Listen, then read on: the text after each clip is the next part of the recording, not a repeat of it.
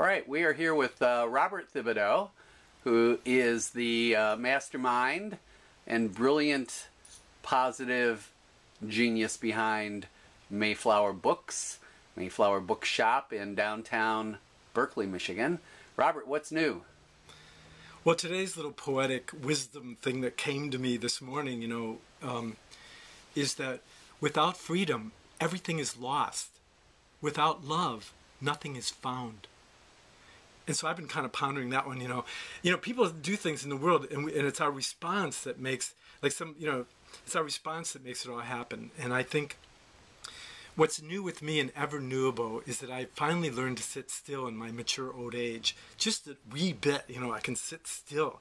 And when I sit still, I can see anything. Uh, new things come to me all the time. I'm free of myself. And it's very hard to get free of yourself. So one part of me loves everything way too much, and the other part of me has finally learned to be kind of a night of stillness. And in that stillness, I can digest my past and I can make room for something new to happen, you know, that is authentic and legitimately connected, you know, uh, free of myself to interact with other selves, you know. So what's what's also happening is I'm a gardener and it's mulberry season and the blackberries or raspberries are coming in and the asparagus is leaving and the roses all had a big flash and now the lilies are coming and um, I think there's another flash of roses later. So as you get older and mature, you should look to bloom again. You know, in your second rose season, uh, you know, the rose rises above the thorns of your life and and shouts up some song. You know, and I'm making more music, so that's what I'm doing, and finding more books. Is that what you want to know? Like yeah. Like how's you know? how's the music going? Um, you're fairly prolific. Every time I come by, you've always got a new CD that you're. Yeah, I'm making. Like, you can go on YouTube and look up Mayflower Bookshop and see like 14 of my last two CDs of the 30 songs. But I'm back with Tino, you know, from the Howling Diablos, and I'm making some more music and working with Carolyn Striho and. Um, I can't help but make up songs, you know. And I'll be appearing in my living room tonight.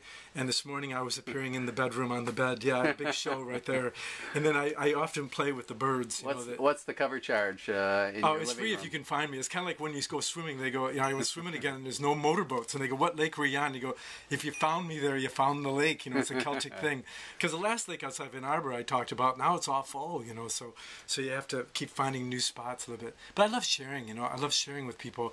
But it's only when we can be quiet and uh, people are afraid to die for some reason you know? But you should die daily. And and today's a good day to be born again too. How can you get born again if you don't die?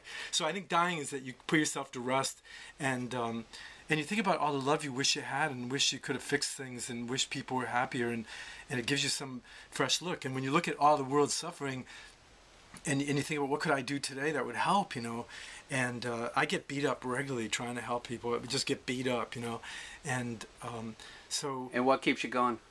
Forgiving.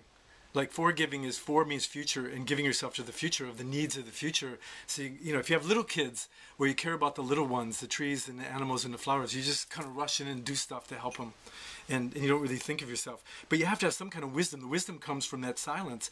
If you don't have any wisdom, you might just rush out and kill yourself for nothing, or you get bit by those repeat offenders that always bite your hand when you're feeding them.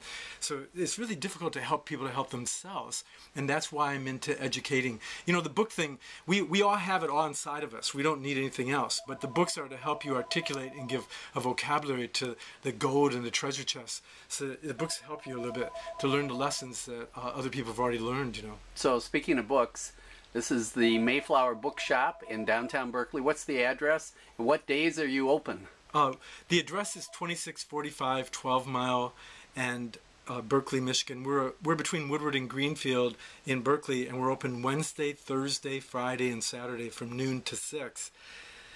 When I can get here on time. great. Thank you, Robert. Bless your heart. It's great chatting.